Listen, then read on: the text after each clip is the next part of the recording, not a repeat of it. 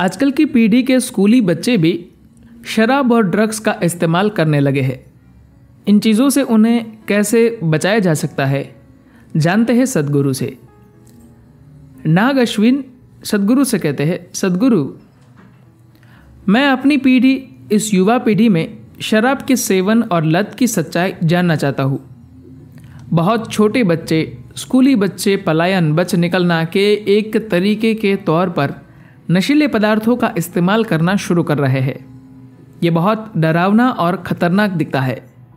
मैं जानना चाहता हूँ कि आपके ख्याल से बच्चे इसका सेवन क्यों कर रहे हैं और लोगों को इससे निकालने का बेहतरीन तरीका, अधिक जैविक तरीका क्या है? सदगुरु कहते हैं, नमस्कारम नाग। मुझे आपका नाम पसंद आया। नाग या कोबरा। मुझे हमेशा बहुत प्रिय रहे हैं।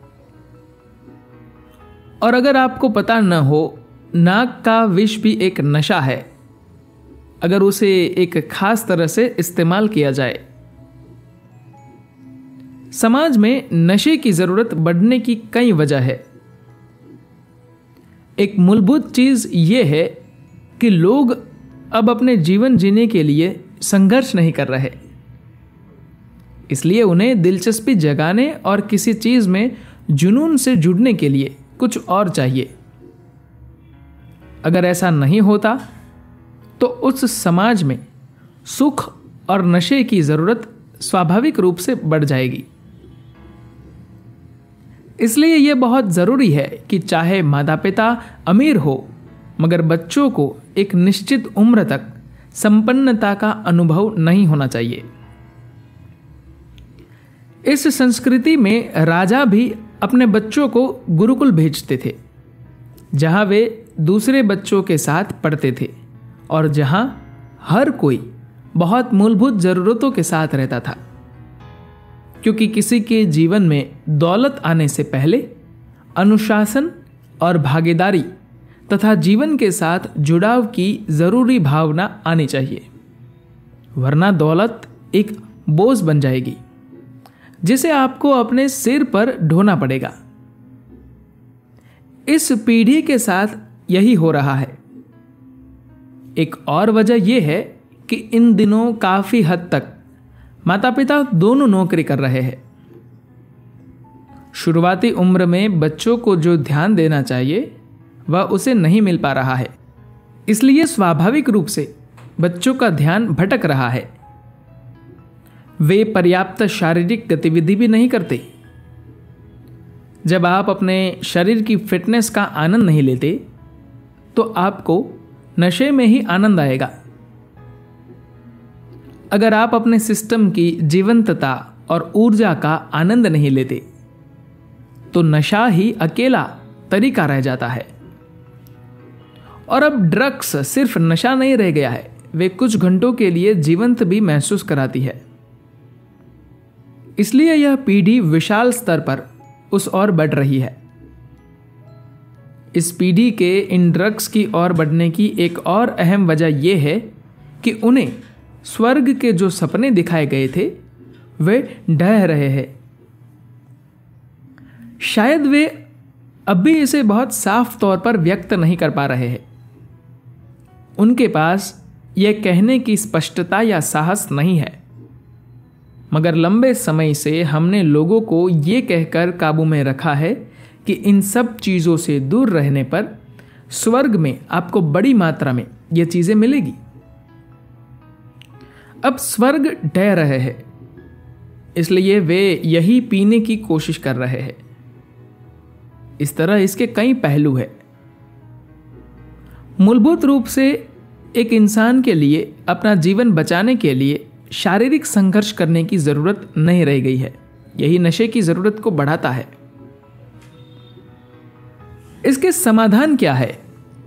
यह बहुत बहुत महत्वपूर्ण बात है कि आप अपने बढ़ते बच्चों को खेलों की ओर और, और दूसरे कार्यकलाओं के लिए प्रेरित करें जो उन्हें प्रकृति से जोड़ती है। जैसे ट्रैकिंग पहाड़ की चढ़ाई तैराकी कोई तीव्र क्रिया और साथ ही प्रकृति के साथ जुड़ाव। कला, संगीत, किसी न किसी चीज़ को लेकर उनमें दीवानगी पैदा करनी होगी। उन्हें अपनी बुद्धि, अपनी भावना, अपनी चेतनवा के सुखों को जानना सीखना होगा।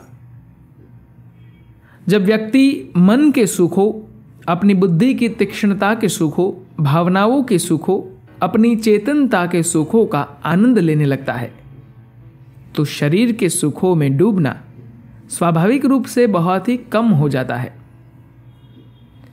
इसलिए यह बहुत ज़रूरी है कि बच्चे कई तरह के क्रियाकलाप काम करें और बहुत सी चीज़ों में जोश के साथ भागीदारी रखे। ये शराब और ड्रग्स की ज़रूरत को कम कर देगा। मगर हमें यह समझना होगा, आजकल इसकी तगड़ी मार्केटिंग है। और माफ़ कीजिएगा, फ़िल्में इसका प्रचार कर रही है। हर जगह उसे इस तरह दिखाया जाता है मानो वह एक सामाजिक चीज़ हो। जब तक आप पीते नहीं, आप बेकार है। लोग मुझसे पूछते हैं, सदगुरु, आप पीते हैं? मैं कहता हूँ हाँ। हाँ मैं पानी पीता हूँ। वे मुझे ऐसे देखते हैं, मानो मैं कोई विचित्र प्राणी हूँ। सिर्फ़ पानी? हाँ सबसे शानदार चीज़ जो आप पी सकते हैं, वह है पानी। क्योंकि यह शरीर पानी से बना है, शराब से नहीं।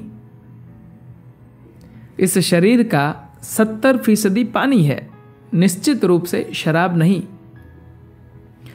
मगर सबसे बढ़कर मेरा मामला अलग है, क्योंकि मैंने अपने सिस्टम के भीतर खोज लिया है कि यह सबसे बड़ी केमिकल फैक्ट्री है।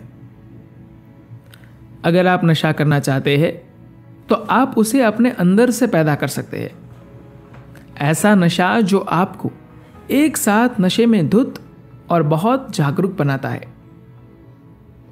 हमें अपने बच्चों और युवाओं को इस नशे के बारे में बताना चाहिए।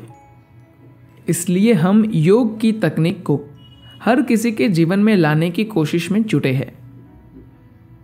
अगर आप अपने अंदर कुछ खास अवस्थाओं में चले जाए तो आपको ऐसे नशे का पता चलेगा, जैसा कभी किसी ड्रग या शराब से नहीं हो सकता। साथ ही आप पूरी तरह जागरूक भी रहेंगे और यह आपकी सेहत और खुशहाली के लिए चमत्कार कर सकता है। अब समय है कि हम तकनीकी रूप से अधिक बेहतर तरीके से चीज़ों को करना सीखें।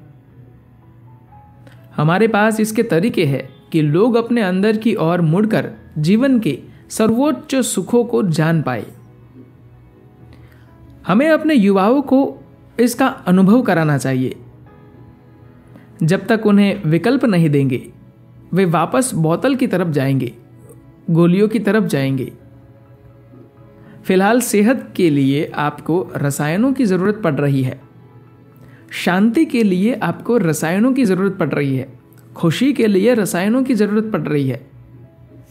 अपने अंदर किसी चीज़ के अनुभव के लिए आपको रसायनों की मदद चाहिए होती है।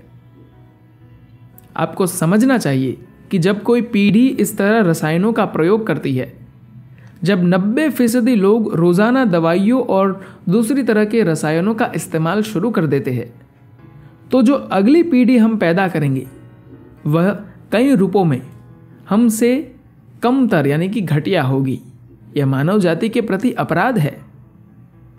हम सबको इस बारे में जागरूक होना चाहिए और वह करना चाहिए जिसकी ज़रूरत है। धन्यवाद।